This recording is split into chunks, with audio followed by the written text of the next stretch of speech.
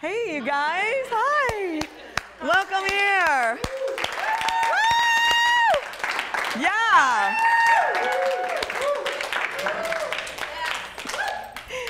You guys.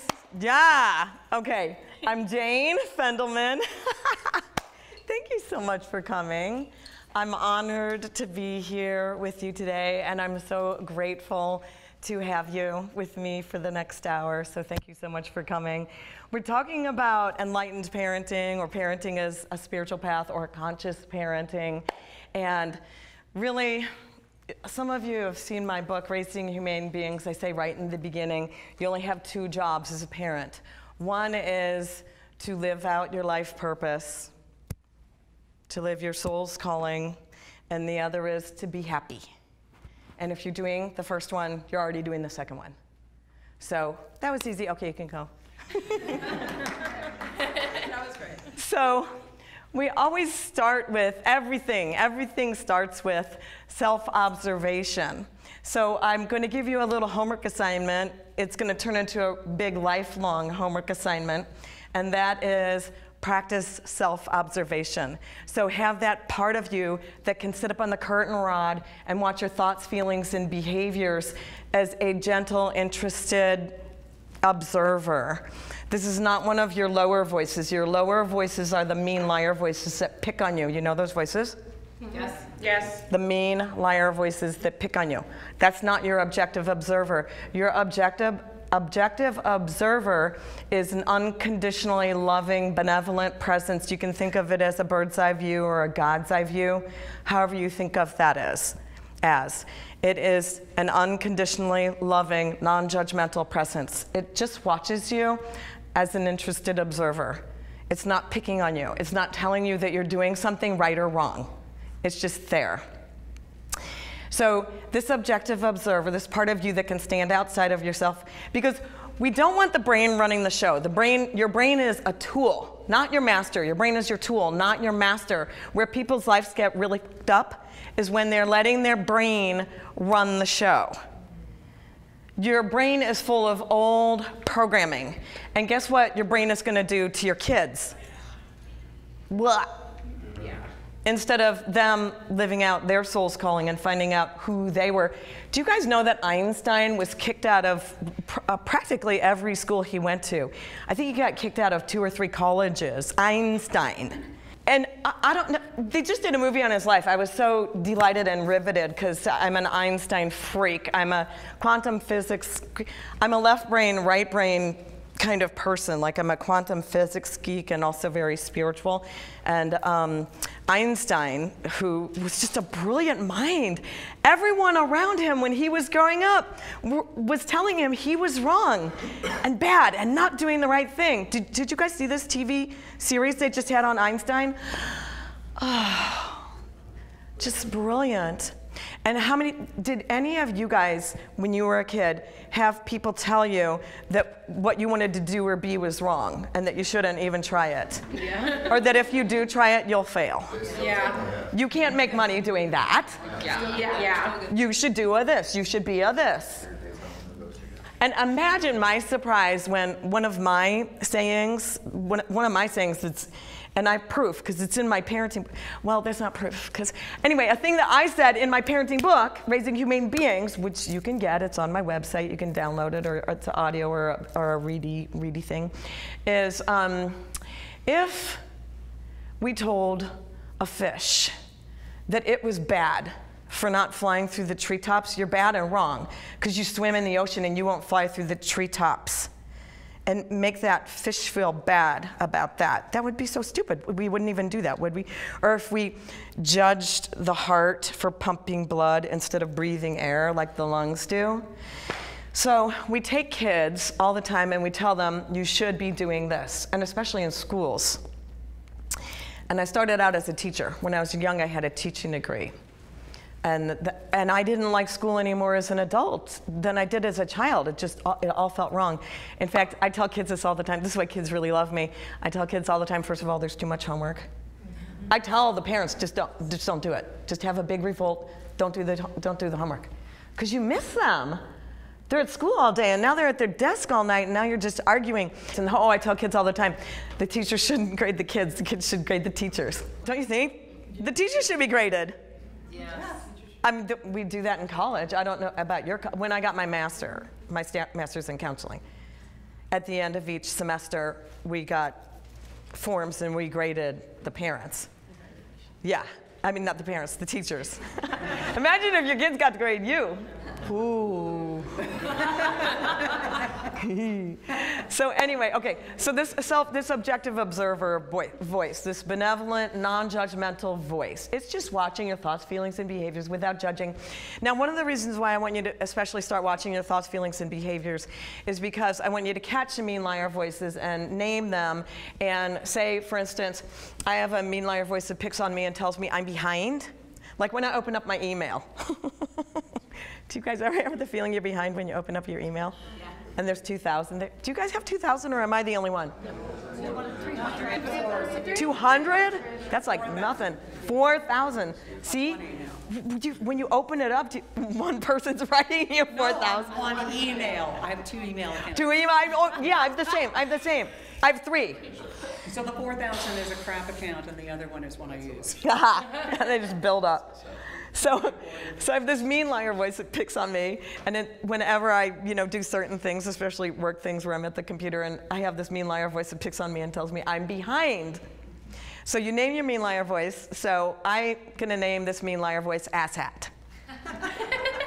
So when I start feeling bad, I check out. I zip out into my objective observer, right? Because that's my brain talking. That's the programming. Your brain is just a tool. There's programming stored there. So I say, I, I catch my brain running the show.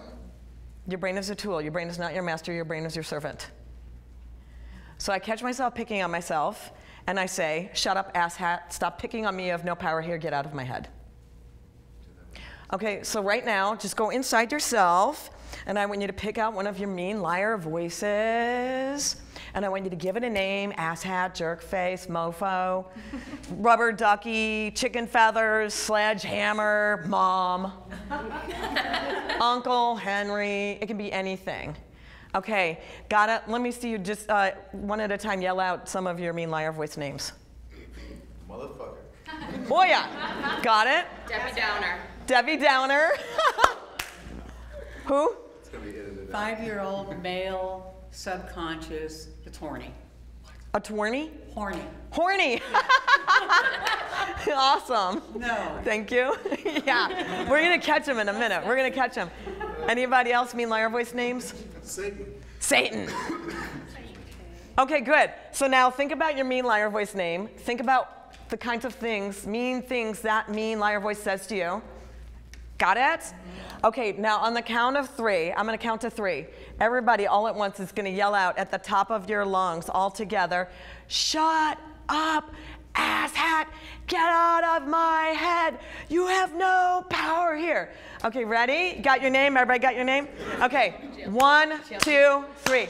Shut up, asshat, get out of my head. You have no power here. Yeah. You guys are awesome. That was awesome. That was awesome. So, watch, the more you observe, gently observe yourself, the more you'll notice you have a mean liar voice that not only picks on you, picks on other people.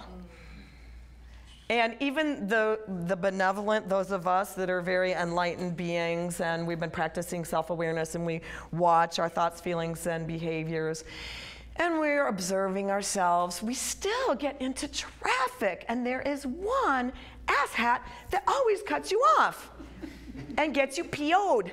So, but we're human, and that's life. So we're learning. We're always learning, right? Okay, so it all starts with self observation, right? so I want you to keep that in the background of you all the time. Now, one thing scary and freaky that I want you to know about your children and the, the world all the world is your mirror. The world is your mirror. The stuff that bugs you about yourself, you'll see it in other people. You'll either see the thing that bugs you in other people, you'll attract that like a magnet. Law of attraction. Power of attraction. Law of attraction. The law of attraction. It's like a magnet in you. Right, like the Abraham Hicks, good stuff, power of attraction. So the things in you or the things that you wish you could do. Like I had a client, she was working with me on some poverty issues. She she didn't have much money, she wanted more money. And I said, okay, now and we did some work on it and I said, okay, there's gonna be a test now. And she said, okay. And I said, you're gonna have to say yes to the goodness of the universe. And she came back the very next week and she said, Okay, you can't believe what happened. My sister in law, who's a princess, like she hated her sister in law. Like my brother does everything for her. Like if she says I want that, he buys it for her. He like when he gets up, he like brings her back a glass of water or a glass of wine. He rubs her feet. I hate her. But it's stuff that she wants, but she won't allow anybody to do for her. So she went over to visit her sister-in-law. She came back the next week for counseling. She said, "You can't believe what happened." And she said, "And I think I flunked." I went to my sister-in-law's house and she had this pile of clothing on her bed, really expensive clothing, and most of it still had the tags on it. And she said, You know, it's just stuff I never ended up wearing, and so I want you to pick out whatever you want, and the rest of it is going to the um, women's shelter. And she looked at all these fine, fine pieces of clothing, this gorgeous everything. There's dresses, there's skirts, there's coats, there's everything. There's jewelry. And guess what she said? No thanks. It's too nice, I can't take that. It's too nice, I can't take that. So the world, everything is here, is here to teach you. And your kids, they are gonna bug you the worst because you can't just walk away. You can't just go, oh, this sucks, I'm leaving. I'm leaving this relationship. you can't, you can't. The little monsters are your teachers. Like when people come in, they'll come in and they've got like four or five kids. And um, I, I don't need to meet the kids to help the parents get everything turned around. And um, they'll say, what? It's Jimmy, he's, he's such a rowdy. He can't sit still. He just he can't he just can't behave. So they'll say like my three or my two kids they're so well behaved and my one kid oh my gosh. And i'll be like oh i'm so sorry about the well behaved ones. You're not going to learn anything from that kid. I'm so sorry you have well behaved children. That's that's too bad.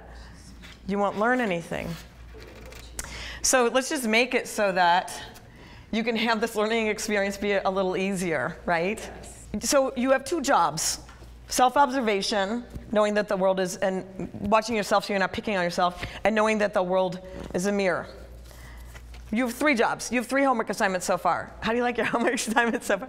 You've only been here 10 minutes and you have three homework assignments. I thought you said no homework. No homework for the kids. There's lots of homework for the parents. so you got self-observation, catch your mean liar voices, name them and tell them to shut up, and know that the world is a mirror and that you're here to learn. So deep breath, deep breath on that. Deep breath on the, the kids. They're trying to teach you something. Like Rollo May used to, Rollo May, who was this brilliant, uh, he's dead now, brilliant dead guy, Rollo May. I don't know what he was, a shrink or a um, philosopher. He used to say the only thing that separates man from animal is this, the pause between stimulus and response. So if you're going off on your kids, if you're yelling at your kids, if you're directing and ordering them around instead of pausing and taking a breath, and um, by the way, there's a whole chapter in my book, or a whole, I don't know, two pages, paragraph or something. I don't know, I haven't read it in a long time. it's called Yelling is Hitting with Words. Okay, now in, in, a moment, one of the reasons I want you to watch your self talk is so that you can start construing anything to be a compliment. So I write about this kid in my book too. Um, I'm about to use the B word, so I apologize. In advance, I'm going to be using the female dog word. Okay? So, okay, so this mom dragged her kid in. So, this is after I'd done a lot of work on myself over a number of years, and I started learning more about self loving. And once I started learning more about self loving, my whole life was easier. Everything was easier. Like, used to be if something bad would happen or someone would criticize me, I would just collapse. I would just fall down to the floor or sack up, you know, a puddle of tears. So, um, this is after, and, and I this is after I'd become a counselor. This is early in my practice, like 24 years ago. And this mom dragged her 10 year old son in for counseling. He had been lying and stealing and cussing. And so she's out in the front room, and he's sitting on my couch like this. and he won't talk, right? And I'm just talking to him, trying to establish a rapport. And finally, he goes like this I'm not talking to you, you're a bitch. Oh, And I, I go like this. I go like this. Hmm, sometimes I am. That's right. and he loved me after that. Now, why did he have to do that with me? Do you know why? Do you know why? There's no wrong answers. I mean, he had lots of reasons, but Find boundaries. to see, to find boundaries and to see my, rea- if Yeah. I was going to react to Yeah. that. What did you say, Antonio? Fear. Fear, because he was scared, so he had, had his claws out. trying to establish who was going to be dominant in the relationship. Oh, See if because you'd back down. see if I would back down, and also, stand firm. how would how would a regular parent or teacher react to that? What would be a normal reaction to that? I was a teacher for 13 years, so um, I had that kind of uh, happen. And what I would do when I would react is, in some cases, because I couldn't do that according to you know school rules and stuff like that. But instead of getting huge and loud and get out of my classroom or stuff like that, I'd be like, okay. Come here, let's talk. And I would get the rest of the class working on something, and then I'd talk one on one with the student and be like, what's up? Right. know, So, why? so, but my question, yeah, that's a great way to handle it. What would a ordinary, run-of-the-mill, common, nobody here parent, ca- parent or teacher do? What would an ordinary teacher do? Mount, discipline, you gotta go. Yeah. What? What'd you call me? What'd you call me? How dare you? How dare you? Go to the princess. Go to your room. You don't. No TV. No. No dessert. No nothing. No prom. No nothing. so what did that do? That just taught the kid. And I would. Ha- I have parents in a lot still to this day, and they'll have like their their teen or their 13 year old or their child sitting next to them on the couch in my counseling room and the child is spinning or turning around or doing his thing and the mom the mom starts going sit up and he's he like sits up for two seconds and then he starts doing his thing. And then mom says sit up. And the mom says sit up like 15 times. Who's in charge there? I can make you try to control me. I'm in charge. I'm in charge of you. I can make you try to control me. Okay, so don't worry about controlling anybody else. We don't want to make, uh, here's one of my biggest things that I've said the biggest, the longest, and the loudest, and the most times. We don't want to make our children behave. We don't want to make our children behave or do their homework or clean their room or eat their peas. We don't want to make them do all those things. We want to make them want to do all those things. Like, I wanted this lady with all these kids to come up to my parenting talk. And so I'm standing talking to her and can see them kind of going, Yeah, what's it about? And I said, Well, there's going to be presents. presents? Surprise? There's an incentive, there's a reward, there's inspiration. You know, I mean, if you're doing a job, I heard a statistic. Um, there was a guy who wrote a book, and he was going on. We were on Arizona midday. He was going on right before me. So we met in the green room and we were talking, and I got to see his whole segment before I went on, talking about. I was talking about counseling stuff. He had this statistic that 85% adults either don't like or hate their job. It sounds low. It sounds low. I mean, there's one thing that I used to say as a it's higher, it's higher. The one thing I used to say as a child, more than I said anything else, was, when I'm an adult, I'm going to do whatever I want. Yeah. And I have quit and gotten fired from so many jobs before I became a counselor and realized, oh, that's what I want. And it's true. You got to do you got to do what you want. Very very important. So you're a bitch. Okay, I can take anything. I can construe anything to be a compliment. And also, no kid or other person is in charge of my emotions. I mean, do you really want a 4-year-old in charge of your emotions? Well, when you get upset with whatever they're doing, you're putting your happiness in their hands. Why? Don't. Don't. Don't. You'll see. There's a whole thing. I don't have time to teach you the whole thing now, but in my book, like one of the third, second, third chapters is called The Big Experiment. It'll help you with that. Okay, now we're going to do a thing. okay. Okay, so first, what you guys get to do is one of the biggest cures, the thing that I'm most known for, uh, well, aside, I, I've been doing a lot of couples counseling lately, like the last year and a half, a lot of couples counseling.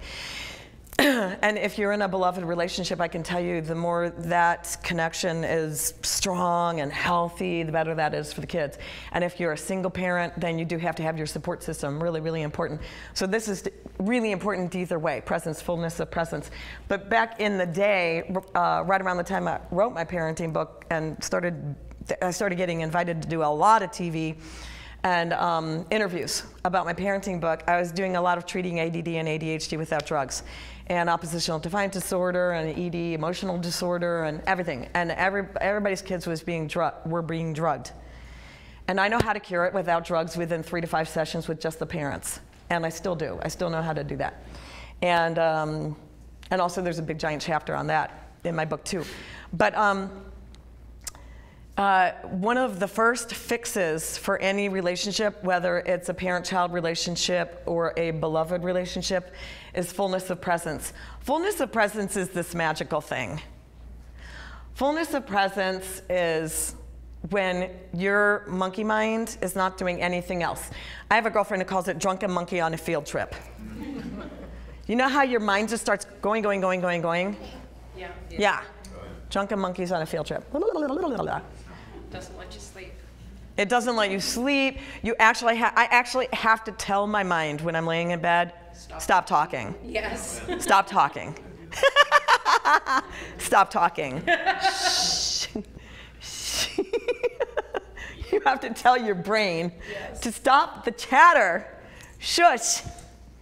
So there's this amazing, magical, miracle place where um, the swing of the pendulum, like we notice the movement and the lights and the colors and the sparkly stuff. That's why if you guys stopped by my booth, you saw it was all sparkly because I know, grab your attention.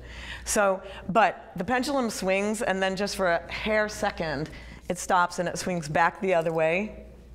Okay, this hair second that it stops where it's not swinging this way or this way, if you get into that hair second, you will drop down into the abyss of the omnipotent, where God resides. And there's nothing to do or say or be or have or get or stop or start. It just, it, it's the is, it's the all. And if you don't believe in God, just think of it as the Higgs field. The Higgs field, if you're a quantum physics geek like me, the Higgs field, all this empty space. Okay, now here's how we're going to practice fullness of presence. Everybody is going to get a partner, turn toward whoever is next to you. And if we have three people, if, um, if you're comfortable, turn to a stranger. turn to a stranger, whoever's right next to you. You're going to turn to that person. So turn toward that person. Do you, do you mind sitting a little? Do you mind sitting down here, honey? I know it's weird. I know it's so weird. It's so weird. We're doing it anyway. Do you need a person, Antonio? I do. How about that guy back there? Would you be brave and be with a stranger? that was honest. Wait, what about what about what about this guy? What about that guy? Are you going That with dude? Are you going with him? Yeah, she's with him. Do we have three people? Have three. You could be with us. Do you want to be with us? Okay. You have three people right here, right? You guys got threes? Yeah? All right. I'll bring it up. Excuse me, excuse me. Okay. Okay, good. So here's what you're gonna do. I promise I won't make this a long, long thing. I promise I'll make it brief. So what I want you to do just to start with is look into their eyes. In fact, look, look into, look into. Guess so. Everybody, point, point to your left eye so that your partner was, knows which one is your left eye. Point to your left eye. Look into your partner's left eye. You can put your finger down, but just. Okay. Shh. Shh. Shh. Have, did you guys notice? Did you notice how everybody got a little chatty and giggly? What just happened, and we're going to go back to it in just a second. I want you to understand what just happened. I've done this with couples who've known each other for 20 years, and they they start to giggle or cry. When we, that's intimate. That's intimacy. That's intimacy. You know, they say the eyes are the windows to the soul.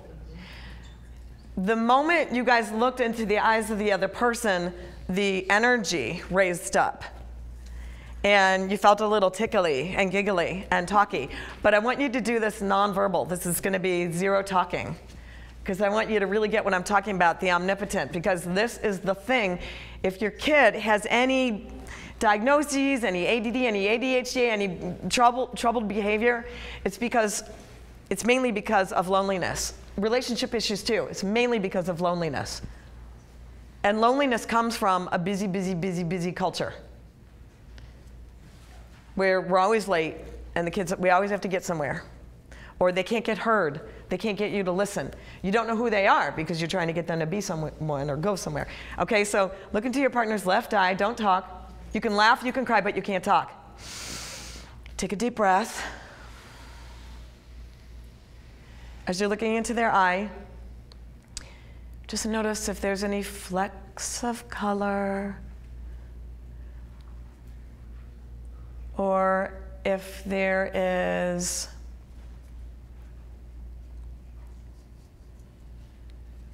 any sadness or joy in there or loneliness.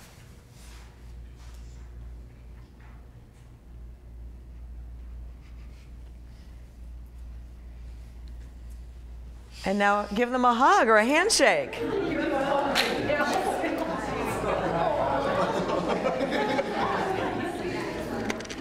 That was really good.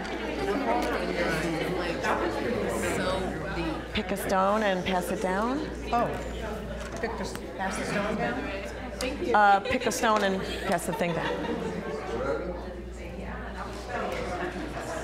There's a song I need off my phone, so we have to stop my phone for a minute. That's good though. Yeah, Thanks. I'll give it back to you. I'll do it. Oh, I cannot get that off there. Because we did it tight. It's tight. Thanks. Okay. Thanks, hon. Oh, okay. Oh, I don't know.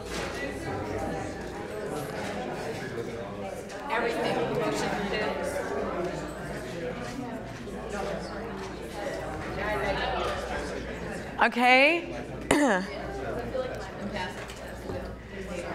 Everybody's going to take a stone and pass my little uh, box of stones along. How did you guys like that eye gazing? Was it weird? Was it cool? Intense. It was intense. Yeah, and like the, um, remain, like, we're best friends, we know each other for forever. Right. And yet, that was really intimate though, is even though we've known each other, I've known her since she was fourteen, even though we've known each other for that long. Mm-hmm. Um, it was still like a new level of intimacy that we had not experienced before, that was kind of weird. Yeah, it was, it was a new type of. That's neat. It was great. Did you guys hear what they said? They said that even though they've known each other for years, they're best friends for years, they'd never done anything like that, and it was intense. Yeah, and when you said something about, think about sadness, it's like I immediately saw it in her eyes and I just was like, I want to give her a hug. So it was, it was really, Did that? Shh, did that make you tear up? A little bit. A little bit. when, when they're teaching counselors to uh, at counselor school, one of the um, m- counseling modalities is called psychoanalytic theory, and the counselor does not speak. They're just fully present. That's it. They don't ever talk. Anybody else? What that was like for? What was that like for you? We're, we were strangers until we met in your booth. And um, I could see, hmm, first I felt more grounded by looking into her left eye. And it opened up into, um, can't think of the name of the film, but Robin Williams was in it, and there's all of this Oh, Where nature. Dreams May Come. Thank you. That's my favorite. And Yeah. that's where I went. Oh. It was Oh. beautiful, really, very Wow. grounding. It felt really good. You saw the riches in Donna's eyes, It was more like a portal. for both of you, a portal. Portal. Yeah, it was, That's neat. yeah, I know what you mean. it was good. Thanks for doing that. So now everybody's yes. Well, we're neighbors. We've known each other for 10 years now. And we text most of the time and send jo- daughters back and forth. But um, I never noticed just how dark. And- How dark brown her eyes Yeah, are. just like, we look at each other. I think that when we do talk, we do look at each other, but just the being present with anybody in today's society is so hard because we're looking down on our phone. We're yeah. we're just being present with anybody. And it's, it's so nice that we actually just stop Yes. and look. And imagine if we just stop and look at our kids. Yes. How often do we just stop and look at our kids I, I try. or anybody? But it's, we don't, I notice, because I'm like, stop. I always go to my daughter, let's look, let's look. And Right. It's very resisting, 'cause it's hard to do. Right. I asked a dad one time who came in, his kid, his uh, son was having some emotional difficulties. And I said to the dad, How often do you get eye contact with him? And the dad goes like this Almost never. I have to like grab him by the arms and say, Look at me when I'm talking to you. And I'm like, I, I don't mean that kind of eye contact. I don't mean like that. I mean the unconditional love kind of eye contact. Okay, we're about to do another exercise, so thank you for doing that.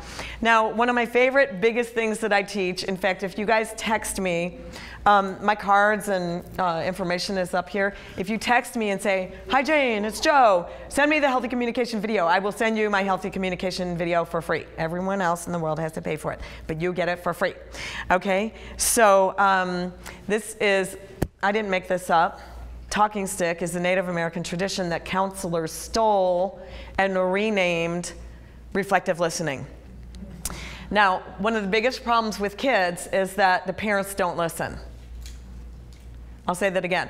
One of the biggest problems with kids is that their parents don't listen. what's, what's one of the things that.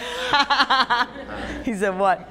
What's one of the biggest problems that parents have uh, complaints about their kids? They don't listen. They don't listen. Are you listening to them? No. Okay, so I'm going to give you a way, and we're going to practice it right now with your eye contact buddy and um, talking stick technique. So you'll see when you, I'm going to give you a really abbreviated version of this, but when you see my video, you'll see it more in detail. But I want you to talk to your buddy. If you don't know your buddy, I want you to talk to your buddy as if they are somebody that you know, that you know you really need to talk to that won't listen to you. And there's something you really need to get off your chest to this person. Okay, now normally when you're doing this home, you have more time. But in here, we're just going, going to do two or three sentences, and um, you'll decide in a minute who's going first. You say two or three sentences. They're short sentences so that the listener can repeat back what you said. So you got your stone, you have your talking stick, stone. It's a stone. A talking stick can be anything. This is mine, so if you ever come to see me for counseling, you get to use this one. It's Sparkly. It's sparkly, it's very sparkly. So, do you like that? Do you want to use mine? Do you want to use mine for your talking, for your practice right now? Okay.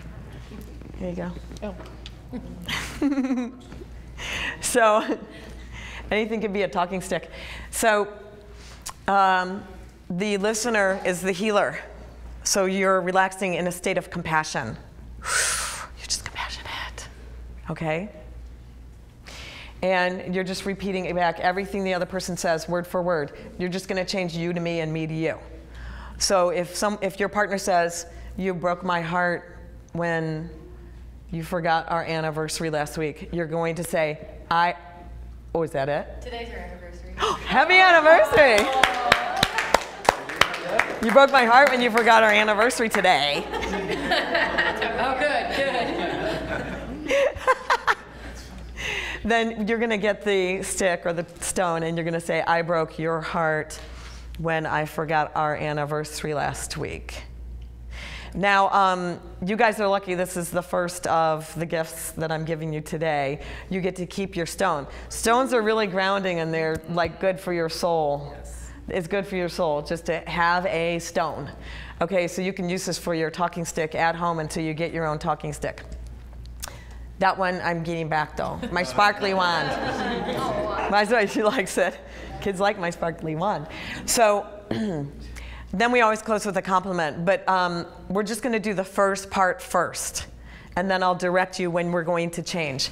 So turn toward your buddy, decide who's going to go first, and remember, listen. If you know this person, tell them something real, like maybe a problem or something that hurt your heart, made you scared, mad, sad, something real, and let them repeat it back to you, okay? Two or three sentences. Go ahead, just do that part, and then we'll go to the next part next. Here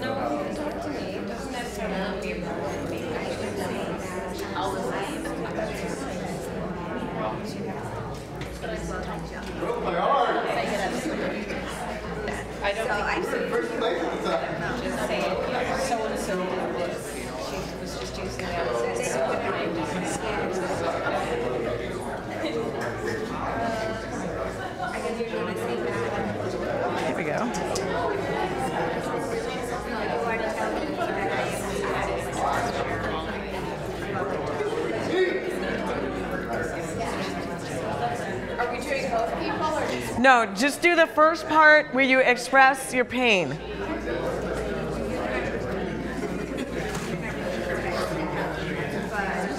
And once that part is done, then please go to silence. Yes, you can have a rock. Let's get you a rock. Come here, let's get you a rock.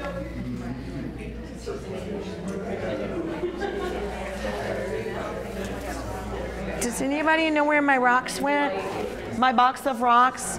Has anybody seen my box of rocks? Oh, let's get you a box. Let's get you. Thank you. Okay, pick out your favorite rock, okay? You can spread them on the table there if you need to. Okay, did everybody do your two or three sentences?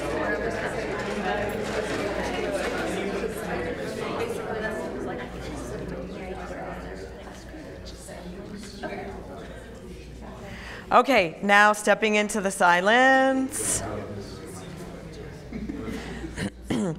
okay, now, whenever you do this, every time you do this, the person who's speaking is complaining. You hurt me, or you made me scared, or sad, or mad. We always close with a compliment because both sides are all true. We always have to look at the entire picture. This person is not all bad. So now, if you're talking to a person that you're in a relationship with, you're going to give them a real actual compliment. And if you were speaking to a stranger that you just met, you can do both if you want. You can give a real compliment to the person that you were imagining they were, and you can also give the listener a compliment for listening. Okay, so go ahead and do the compliment part. You're going to tell them something that you love about them. Not I, not I still love you. It's a real compliment.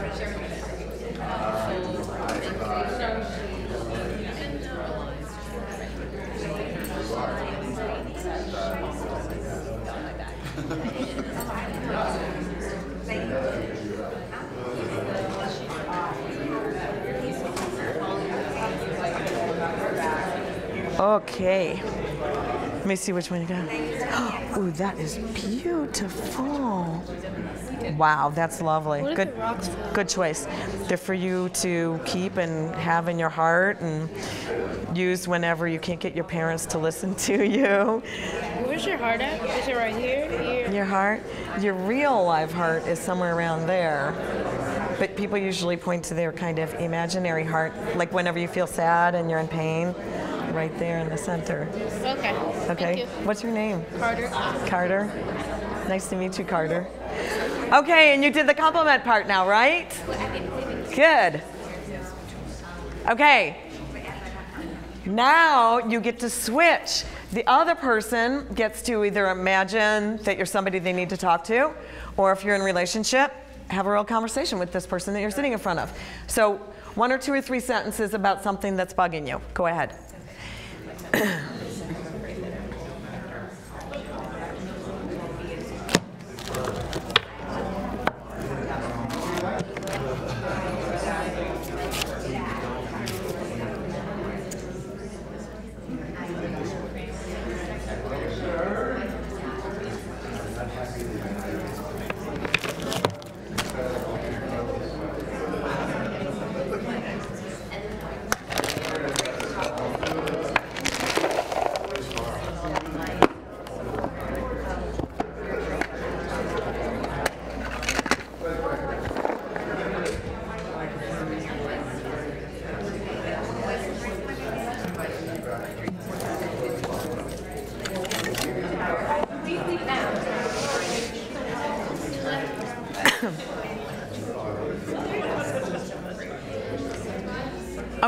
that part done? Everybody's complete? I don't I don't believe the crack windows. You don't believe in cracked windows? Okay. Okay. So now, second person, close with a compliment to your listener.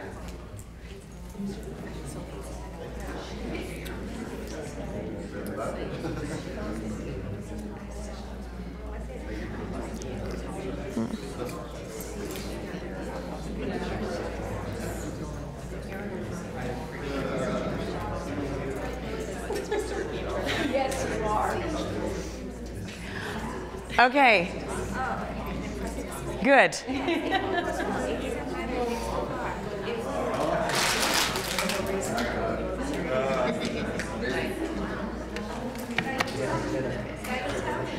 Okay, now everybody back up here, please.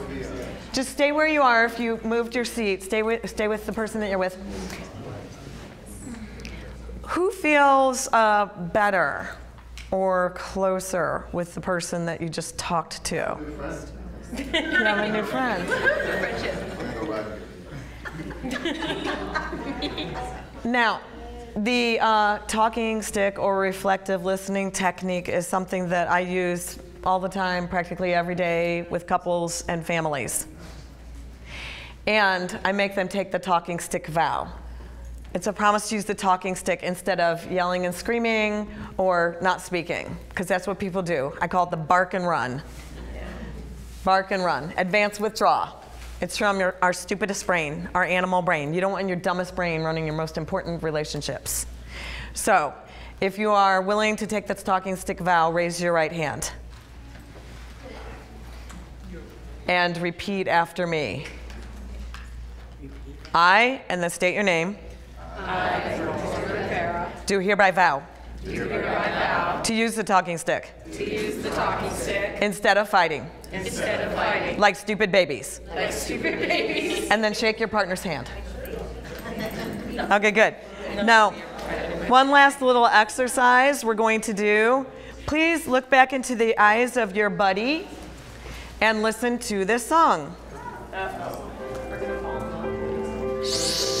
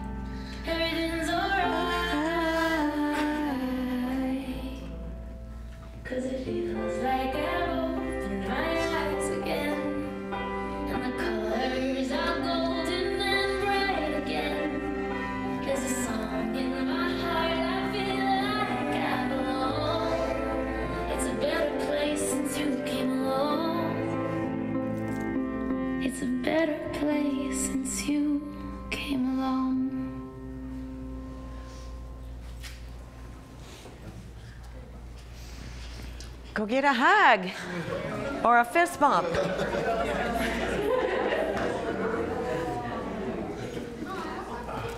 Oh my God. I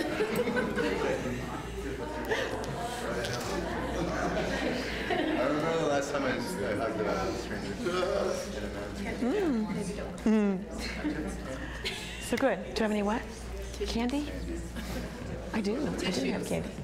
Oh, tissues. Oh, I told them we were going to need tissues in here.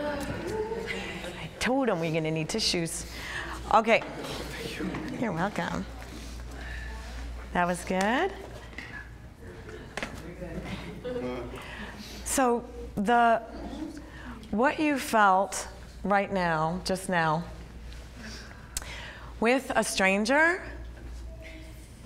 and what you felt with somebody that you maybe know that you came here with, that's how fast uh, we can get a heart and soul connection. And that's how hungry, thirsty we are for it. We're aching for it. That's presence, where you get really into your heart and just really connect with someone. It's a big deal. It's the only deal.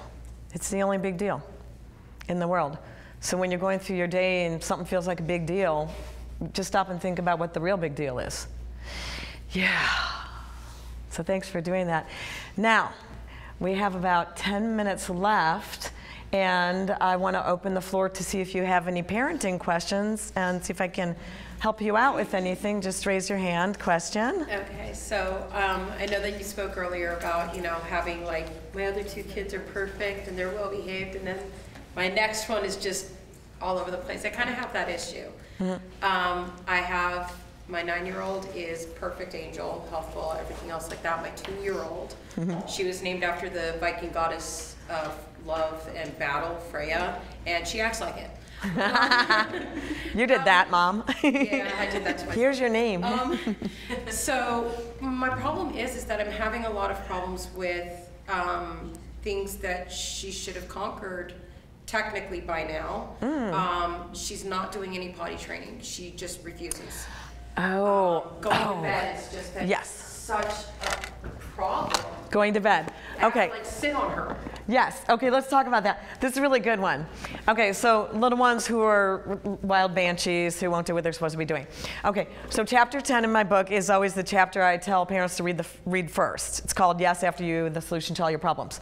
So the yes after you is a way to reconcile head and heart. Is there anybody here who does not like chocolate? Raise your hand if you don't like chocolate. You don't like chocolate.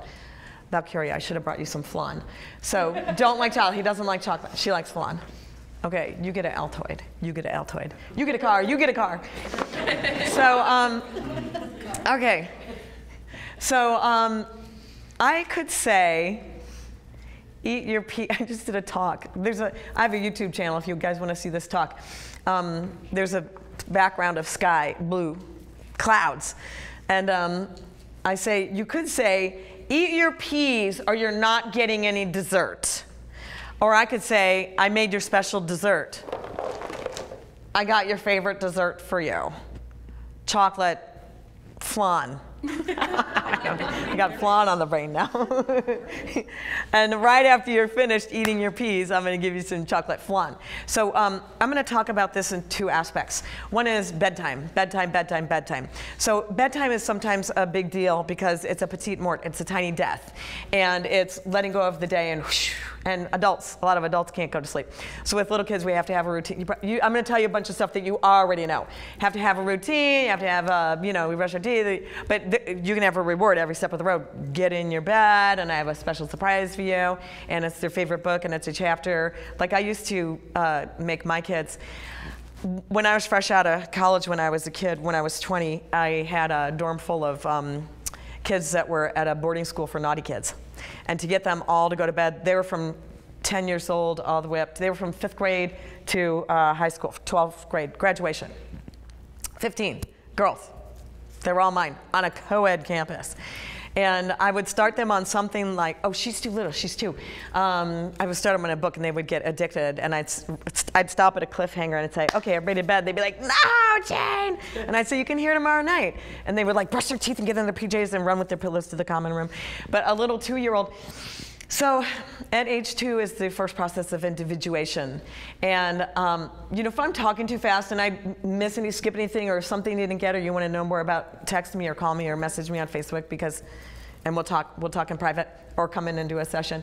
But um, so uh, if you make it through the first process of individuation, relatively unscathed, you'll have an easier time during the second process of individuation, which is puberty. So we want to not battle. We want to not battle. So if there's a thing that she likes and you say, what's her name, Freya? Freya. Freya, Freya, I have a special surprise for you. You want a special surprise? Will she get that? Like, what's a special surprise for her? Um, Stickers? could be anything stick, I mean, anything really. Uh huh. Like, Bubbles, bubbles would. Bubble, so easy. Like at my place, because I have so many kids in my life and clients' kids, and I want everybody to obey me. So I have lots of stickers and I have sparkly gems. And who wants a sparkly gem? Okay. If you want a sparkly gem, go through my bag and pick out your favorite sparkly gem. Yeah, pick a gem. I have stickers, sparkly gems. I have lots of little things. So stuff like And, and I have parents who say, I, I'm not going to bribe my kid to do what they should be doing anyway. And I'm like, We get bribed to do what we should be doing. And you get paid to where your job.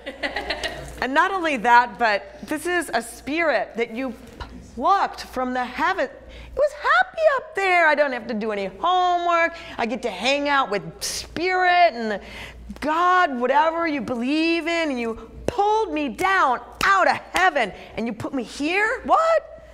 It's too hot, it's too cold, there, I have to wake up. I don't want to wake up. it was her choice. No, it was, it was Freya's choice. She came. I'm coming. Yeah. I'm coming.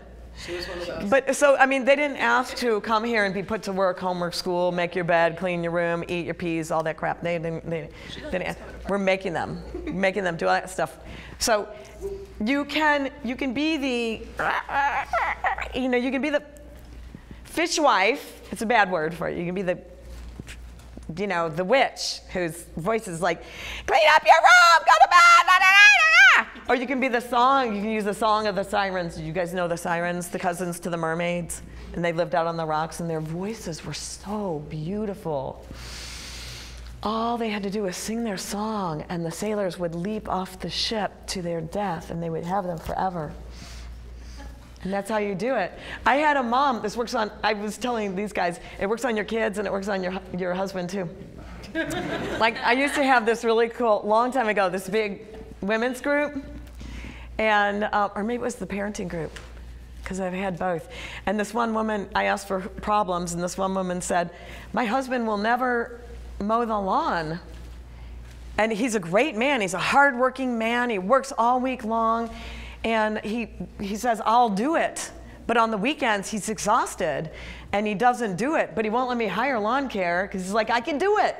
But he doesn't. And our lawn looks like hell. And so I came up with a yes after you for her. so the yes after you works backwards and forwards and on men and children. It works on women too. It's just, you know, we're usually doing everything. It's a bad mom mistake. You're already doing everything. You're, it was a bad mom mistake. So, um, so the, the kid the kid can say to you, I want I want these new jeans, or um, you know, I want soap bubbles, and you say, you can either say, you're not getting any soap bubbles until you get in bed, or you can say, I would love to give you soap bubbles right after you get in bed. You see the difference? There's a smile in my heart. So the woman came back the next week and she said, uh, I said, How did it go? Because I helped her come up with a yes after you for her husband to mow the lawn. she said, It went great. She said, I did just what you said. He was laying on the couch, like with his beer, exhausted from his week. And I said, You know, honey, really turns me on when you mow the lawn and your muscles are sticking out like that. You're all sweaty and everything. And she goes, He mowed the lawn twice in one week.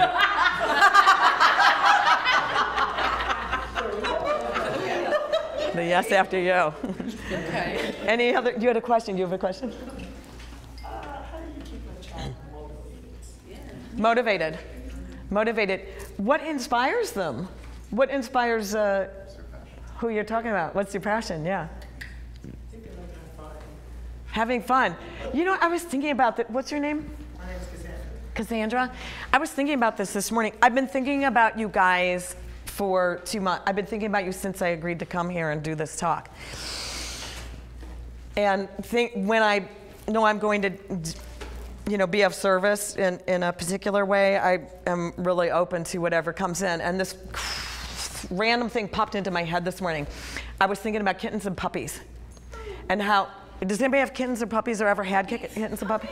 Puppies. What do they do all the time? Play and sleep. Play and sleep. And love you. Yeah. Play and sleep. And eat. Play and sleep and eat and potty and play. And eat. But, but they want to play. They naturally play. Don't they naturally play? Yes. And then we train it out of you. You're like that when you're a kid. You're naturally playing. And then we train it out of you. And then, when, and then we have this epidemic of depression and all these people on Zoloft and what else? What, whatever. Whatever. So we train it out. So, but to motivate for kids, so one thing I really believe in is no homework. I really like Montessori and Waldorf schools. And um, I really believe in incentives. So the yes after you. So I mean, this bag of precious gemstones that are worth millions of dollars that I just gave you, I get like a bag for 99 cents at SAS or Michael's. I give stickers, I give, and when my kids start to get like they're expecting a thing, you know, or a nickel or a quarter to, or a however and I mix it up and I just give them a hug some days and like, what? Just a hug? And I'm like, yeah, here's another. It's free. This one you don't even have to do anything for. So, so I really believe in. Does that help? Yes, yes, ma'am. Yeah, you. Yeah, you. Um, You there. Thank you. Um, I have an issue with my daughter who is like hers, headstrong and motivation. She's extremely motivated as a lot, and she's in Montessori as well. Uh-huh. Um, but one thing is I have chronic illness, and she, uh, which is nice, seems to forget because I hide it a lot. But when I when I have my flares and I'm down, it's hard. Yeah. It's like op- opposition defiant with me only, but no Mm-hmm. one else. Right. And it's hard for me, I, that's when I start doing the yelling Uh-huh. instead of thinking. Right. Any Right. suggestions for me Yes. when I'm in those, in that position, because my head's just not. For sure. So when when you're strong, do you do the mom mistake of when you are feeling good? You're last. Everybody else is before you. Uh, yeah. Yeah. Because I'm so excited that I'm feeling, Yeah. That you want to do. Yeah. do Yeah. So the, the yes after you isn't the cure to everything, but it's the cure to a lot of things. And the talking stick is the cure for kind of the rest of it. But I want, especially moms, watch yourself for this. It's a common mom mistake to put yourself last to not have me time, to not say, "Hey, sweetie, come over here and help me chop the, you know, carrots," or "You set the table," or "I have a surprise for you. Help me, you know, after you're done doing the dishes, come and get me. I get, I got a big surprise for you. You know, I'll be in here." Uh, wiping down the table and we'll sing a song together while you're doing the dishes. And I want you to get used to see my generation did up for everybody after us women because of women's liberation. My generation, I'm 57, so everybody after me, my generation uh, caused a bunch of masculinization of women. We're very masculinized. You don't have to do that for me. I can do that for myself. What do you think? I'm a weak, wimpy, you know, wuss? I'm, I can do that for myself. I can pay the bill. I can blah, blah, blah, don't hold the door. Yeah, it's a bad habit. There's an audio download on my website you maybe want to get. You guys should get my downloads right now because my business, business manager told me my prices are too low. They're like less than five bucks. There's a download called Don't Chase Love, Inspire Desire. Don't Chase Love, Inspire Desire. It's powerful and it'll teach it teaches women how to relax into the strong feminine so that you can just magnetically attract everything that you need in terms of love and support. So it sounds like from what you're tell me your name again? Rachel. Rachel, Rachel. You're, it sounds like you're doing a um, You're at two extremes. When you're not, fe- when you are feeling well, you're doing, and you're in the masculine. So no one's learning how to serve you. That's not good for any beloveds around you, any beloved you may have. It's not good for the kids. Yeah. The mom is the hub of the wheel, the well out of which everyone drinks. If mom ain't happy, ain't nobody happy. Did that ring a bell for you? Was that oh oh? Okay. retraining. I have to retrain myself It's hard. It's a very out of control feeling Yeah. to not be doing, doing, doing. Yes. Yes, ma'am. 14 year old boy um, living with his mom and threatens her with, I'm going to run away and move in with my father unless you promise to give me a car when I'm 16. Well, he's 14. Okay. I would say do a lot of talking stick because if a kid um, goes straight to a threat, give me what I want or I'm leaving, that means there's a connection, there's a gap there in the connection. There needs to be a stronger connection. And um, I'm, I'm glad you said that too, Purple, because I want you guys to know, parents, when you start doing talking stick with your kids, I want you to start by, in the beginning, just be the listener. Don't take your turn to talk when you're doing the talking stick. And just listen, listen, listen, and find out who they are and why they're going, why he would be going straight to that um, okay, while we're doing this last question, okay? While we're doing this last question, everybody gets two kisses. My box of kisses is going around. yes, ma'am. One last question. Yeah, um, so I have a four month old little boy, and I've been told a lot that I'm holding him too much. Oh, you're holding your baby too much? Is, That's is what. there s- a such thing as that? I've been told. It's your first baby? First baby. First baby? Like I've, I've had my parents. So don't worry about that, it. that you're it's spoiling, and that they need to learn to kind of move on. But like, at what point does it become too much? if you're holding your baby if you're holding your baby or petting your puppy too much so here's the thing here's just my opinion about this a person isn't spoiled a child a child isn't spoiled because okay let me back up that is a first time parent common thing to, to hold the first baby a lot. Like my firstborn nephew that my first younger brother had, that kid's feet never touched the ground, I swear, for two years until his sister was born. That kid's feet never touched the ground. Never touched the ground. Never touched the ground. You got to check in with you if you feel like you're um, doing something too much. There's, of course, there's a happy extreme to everything, and but I don't like that other people. I had a client one time. This is the funniest comparison, but my client had a dog, a dog, a little dog, and she held it and petted it all the time, and she and she was a she was a 20 year old, 21 year old woman, and she lived with her mother. And her mother constantly said, Stop petting that dog so much. Stop petting your dog. You're spoiling the dog. I'm not going to pet him when you're around. I'm not going to be petting him all the time. I'm not going to do that. I'm like, Fine. You have one relationship with your child, and your child has a different relationship with every other human being they'll ever meet. And everybody's boundaries are going to be different. Some people are going to want to carry him around a lot, and some people are going to want to pat him a lot, and some people are going to be like, no, you stay right there. You can walk your own self around. And so you do what you want. And if you feel, and tell your mom. So I want to give you a stock response that you can give to people that are interfering, meddling, people that are meddling in your life. Yes, you do. You're, there's four stock statements. I honor your truth. Thank you for your opinion. I'm sorry you feel that way. And why do you ask? I honor your truth. Thank you for your opinion. I'm sorry you feel that way. Why do you ask? Don't ever explain yourself because you're an adult. You don't have to explain yourself. Okay, one last thing, okay? And uh, by the way, you guys don't hesitate to um, call me or text me or message me or friend me on Facebook. I'm passing these little guys around. I'm going to hang on to one and pass, pass the rest with you. I'm going to take the top one. I want you guys to, this has my, my, my address. Come over to my house for dinner tomorrow. Um, It's good. So, in two weeks, I'm doing my uh, beloved relationship retreat. Now, you may or may not be in a beloved relationship. You can come to this with a friend if you want to do heart opening exercises that will cause you to be ma- more magnetically attractive. There's, there's only like two sexy things that we do in this workshop, and those you don't have to do with your friend. Who one's a homework assignment, one's a home play assignment, and one is a um, kissing activity.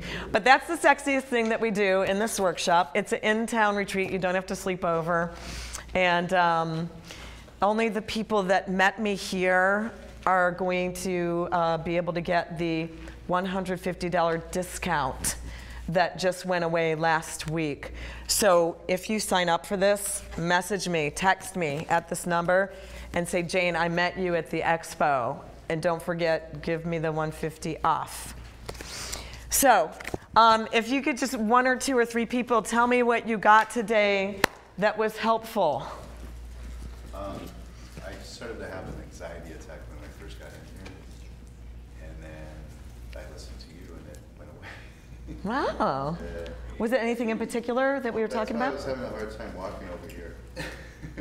Chair and everything. Oh, oh, that was big. That was good. Yeah. What, what calmed it down? Anything in particular? Um, just the over, um, where you give that voice, you call him, I think it was motherfucker, so I kept calling it a motherfucker. Wow, you kept on telling the mean liar voice off. Yeah. Bravo, Antonio.